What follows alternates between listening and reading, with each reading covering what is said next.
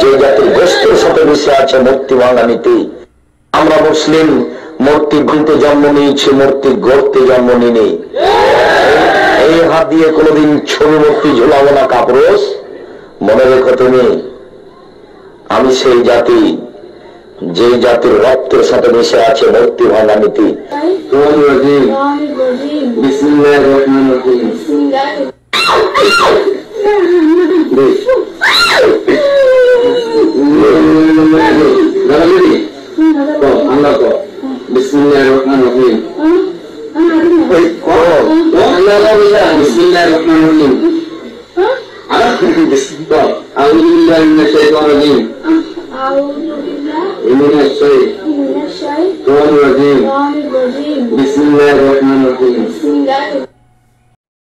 হরে কৃষ্ণ তো যে দুখানা ভিডিও ক্লিপস আমি দেখালাম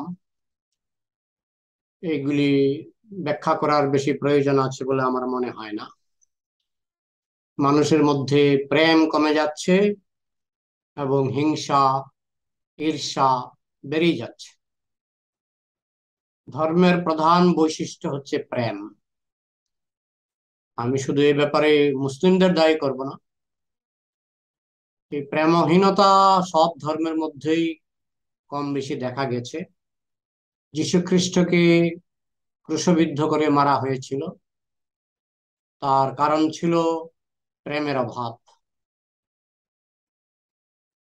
মুসলমানদের মধ্যে যে মূর্তি ভাঙার প্রবণতা এটারও কারণ হচ্ছে পরধর্ম, অসহিষ্ণুতা, প্রেমের অভাব। এবং আরেকটি ক্লিপসে আমি দেখালাম, যেখানে ছুরি দেখিয়ে ধর্মান্তরের চেষ্টা চলছে।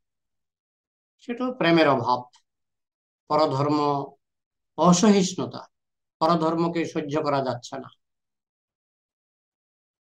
হিন্দুদের মধ্যেও আছে, যারা মসজিদ ভাঙার জন্য খুব আগ্রহী। মসজিদ ভাঙে মসজিদ ভাঙে। মুসলমানরা মূর্তি ভাঙে, হিন্দুরা মসজিদ ভাঙে। আমাদের শিলপ্রভুপাত বলছেন প্রলয় পর্যন্ত চলবে। যতদিন মানুষ প্রেম ধর্মের অধীনে না আসবে প্রেম ধর্ম গ্রহণ না করবে।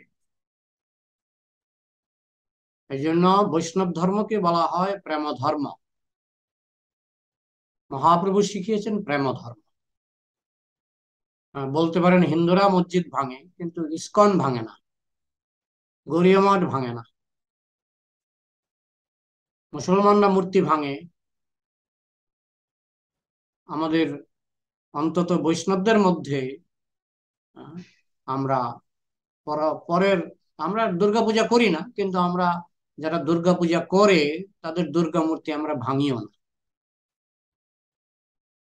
আমাদের আরাধ্য হচ্ছেন ভগবান শ্রীকৃষ্ণ। কিন্তু পরধর্ম সহিষ্ণুতা, এটা হচ্ছে বৈষ্ণব ধর্মের একটি প্রধান লক্ষণ। তাই কখনো শুনবেন না বৈষ্ণব ইতিহাসে। বৈষ্ণবদের যে ইতিহাস চৈতন্য মহাপ্রভু, শ্রীমন মহাপ্রভু যে ধর্ম শিক্ষা দিয়ে গেছেন তৃণাদপি শুনিছেন তরুরপি সহিষ্ণু না অমানিনা মান দেন কীর্তনীয় সদা হরি। হ্যাঁ ঘাসের মতো সহ্য করবে, গাছের মতো তৃণাদপি শুনিছে না ঘাসের মতো নিচ হয়ে থাকবে এবং গাছের মতো সহ্য করবে। তা বলতে পারেন যে অর্জুন অর্জুন তো কুরুক্ষেত্র ছাড়খাড় করে দিয়েছিলেন। অর্জুন কিন্তু কৃষ্ণ ভক্ত, বৈষ্ণব। হনুমান, তিনি লঙ্কা ছাড়খাড় করে দিয়েছিলেন। হনুমান ছিলেন রাম ভক্ত, বৈষ্ণব। বৈষ্ণব মানে কৃষ্ণ ভক্ত এবং কৃষ্ণের অবতারকে মানে। কিন্তু যেসব কারণে হয়েছিল যেমন রাবণ সীতা হরণ করেছিল পরস্ত্রী হরণ, বেবিচার, এটা কোরআনেও এটাকে নিন্দা করা হয়েছে। সমস্ত পৃথিবীর সমস্ত শাস্ত্রে বেবিচারের নিন্দা আছে। মদ্যপান, মদ খাওয়া, নেশা করা, এগুলো নিন্দা আছে। তো সেগুলোর জন্য অনেক সময় যুদ্ধ হয়। কিন্তু শুধু বিশ্বাসের উপর ভিত্তি করে যে সাধারণ কারণে সাধারণ কারণে ওই হিন্দুরা মুসলমানের উপর অত্যাচার করবে মুসলমানরা হিন্দুদের উপর অত্যাচার করবে। এগুলি ঠিক নয়।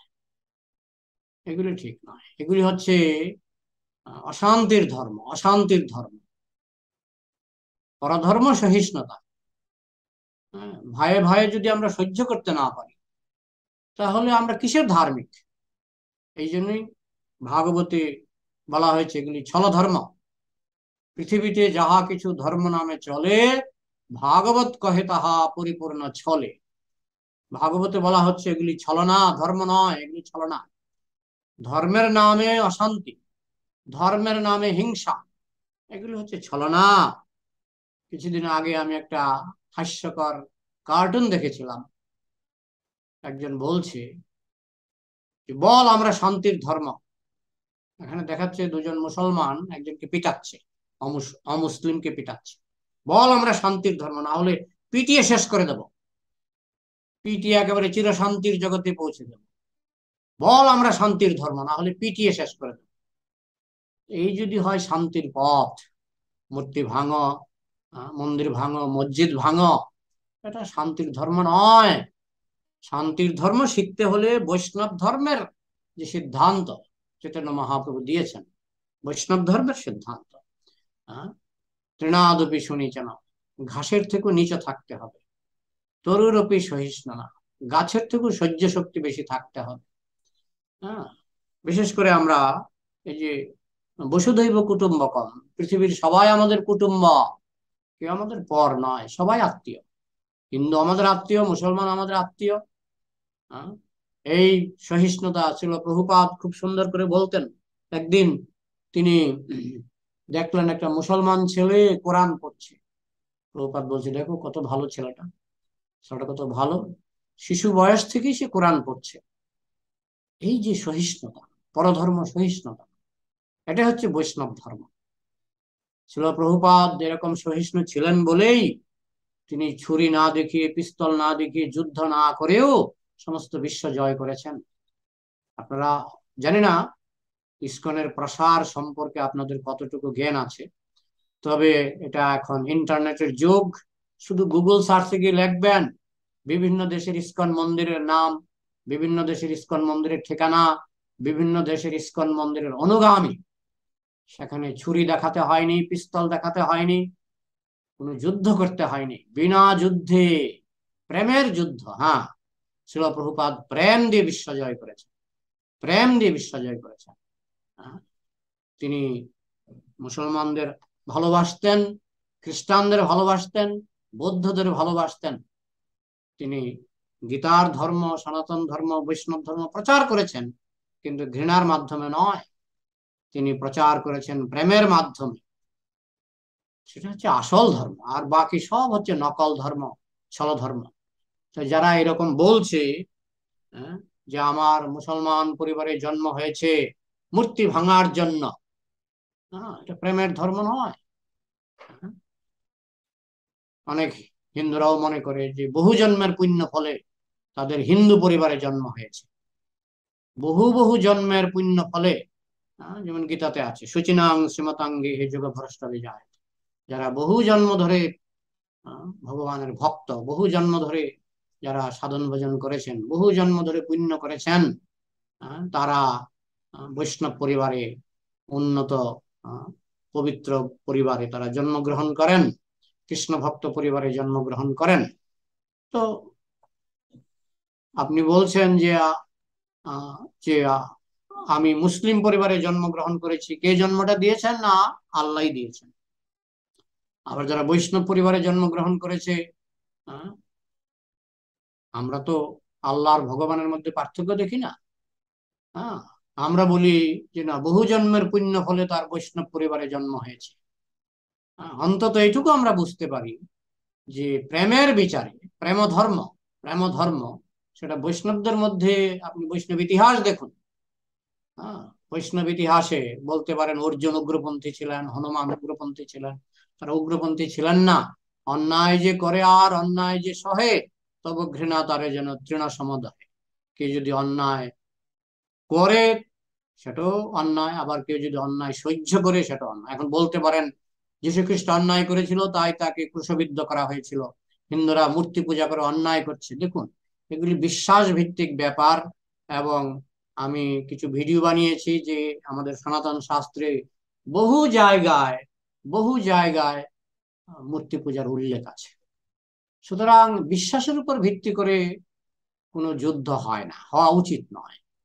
যুদ্ধ যদি হয়, অন্যায়, ন্যায়, অন্যায়, তার জন্য আইন আছে, আদালত আছে, পরস্ত্রী, ধর্ষণ, এগুলি বেবিচার, এগুলির জন্য ধর্ম আর আইন আদালত এক কথাই বলে। হ্যাঁ। রাবণ সীতাকে বলাৎকার করেছিল।